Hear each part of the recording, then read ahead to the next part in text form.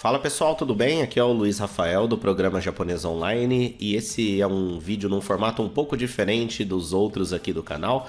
Estou fazendo um teste para ver se eu consigo fazer uma maior frequência aqui, porque assim a gente depende de menos fatores para entregar o conteúdo. Eu posso fazer isso de qualquer lugar praticamente, sem se preocupar com setup. Então você está escutando apenas a minha voz e eu deixo alguns vídeos aí na tela só para ir ilustrando e você pode consumir esse conteúdo num formato um pouco mais podcast. E hoje eu quero falar sobre como que você pode voltar a estudar japonês depois de um tempo parado.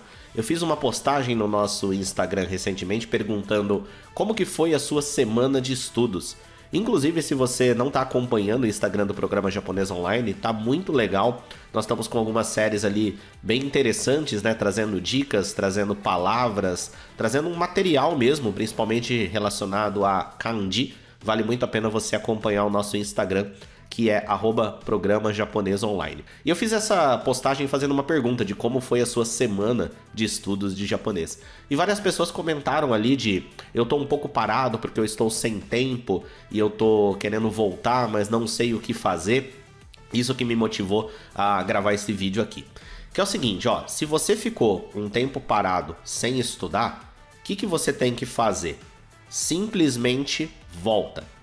Mas por que, que a gente tem tanta dificuldade em simplesmente voltar? Porque a gente imagina que é um negócio muito complexo que você tem que incorporar na sua rotina com uma dedicação alta, com uma dedicação grande e que isso vai tomar muito tempo. Nós imaginamos o tamanho que essa tarefa tem e por isso nós procrastinamos e vamos sempre deixando para depois. Então o que eu quero propor para você é voltar a estudar, só que focando em criar uma nova rotina, uma nova consistência com pouco tempo por dia. Porque se você está totalmente ocupado com o trabalho, ocupado com a faculdade, ocupado com a escola, o que seja, e você não está conseguindo encontrar tempo para estudar japonês, coloca como meta estudar apenas 10 minutos no dia. E se depois desses 10 minutos você perceber que dá para fazer mais, você pode aumentar para 20 nós procrastinamos fazer as coisas normalmente porque nós imaginamos que essa coisa que nós temos para fazer vai demandar muita energia, vai demandar muito tempo, é uma coisa muito grandiosa. Só que se você fragmentar em pedaços pequenos e entender que mais importante do que a sua quantidade de estudo é a sua frequência com os estudos, você pode voltar fazendo micro tarefas por isso que eu sugeri você de, de dividir aí em 10 minutos, sessões de 10 minutos de estudo. Coloca como objetivo, por exemplo, hoje ou amanhã, dedicar 10 minutos do seu dia, pelo menos, ao japonês.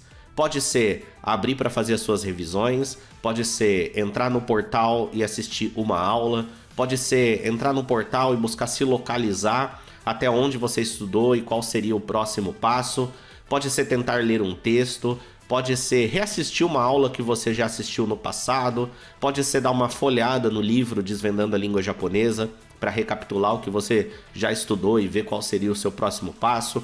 Só que coloca no relógio de fato 10 minutos. E depois que desses 10 minutos, você decide se você vai continuar ou não nesse dia, se você vai fazer mais nesse dia ou não.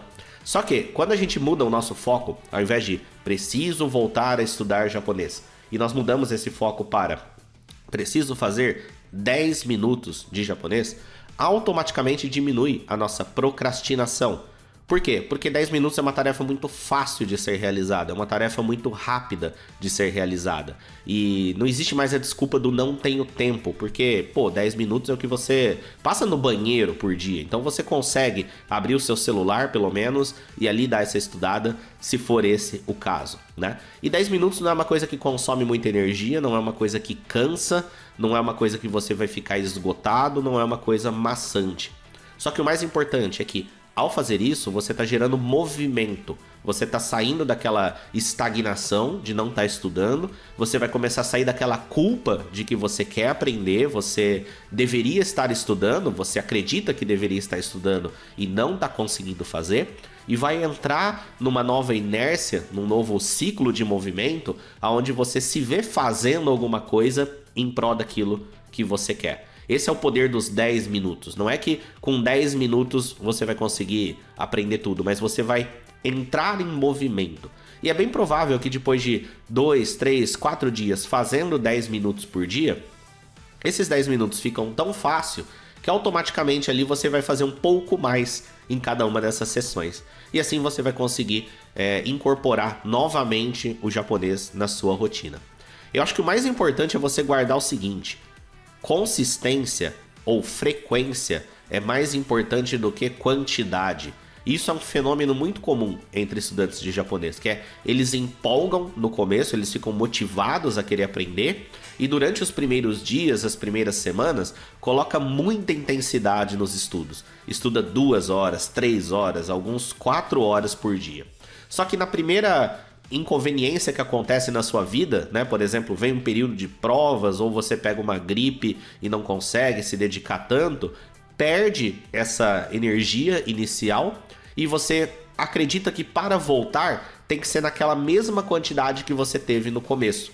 Então, você gerenciar isso, saber a hora de parar no dia e dedicar um pouco por dia, só que ficar muito tempo dedicando um pouco por dia, ficar meses, ficar anos colocando na sua rotina, é isso que fará você aprender. É você fazer com que o idioma, né, não só o caso do japonês, faça parte da sua vida. Assim como todos os dias você faz parte da sua vida você escovar os dentes, faz parte da sua vida você tomar um banho, faz parte da sua vida, algumas pessoas faz parte da vida delas ler a Bíblia, algumas pessoas faz parte da vida dela ter um período de leitura no dia. Algumas pessoas faz parte da vida dela tocar um pouco de um instrumento musical no dia. Para outras pessoas faz parte fazer exercícios no dia.